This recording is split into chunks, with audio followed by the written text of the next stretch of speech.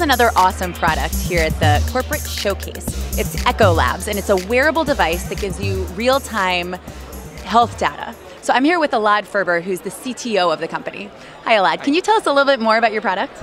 Yeah, of course. So we built a wearable technology uh, that allows non-invasive measurement of blood pressure, respiratory rate, heart rate, and actually a full blood gas panel in real time. We basically can pack the monitoring ability of a hospital bed in a wearable. So is the idea that you'd wear this all the time, like a Fitbit or an Apple Watch or something like that?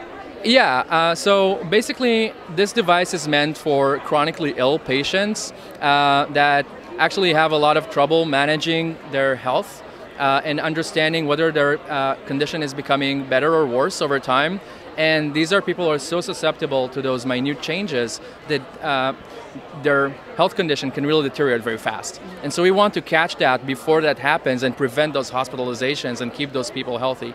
And how accurate are your blood pressures and O2 saturations that you have on here? Right now, uh, we've shown in our last clinical trial that we can predict blood pressure as accurately as you would be able to with a equivalent device you can buy in Walgreens, for instance. So what do my numbers look like? Here we see your raw signals, and basically this program takes these raw signals and analyzes them in real time into uh, your raw metrics. And so obviously every person has got their own baseline, so we can deduce a conclusion directly from just looking at these stats right now. These stats look good, so there's no reason to worry immediately.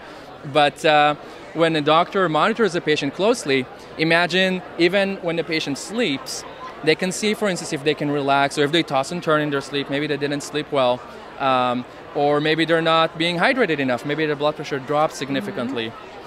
Um, so we can capture all these changes in real time, and that's why this is so powerful.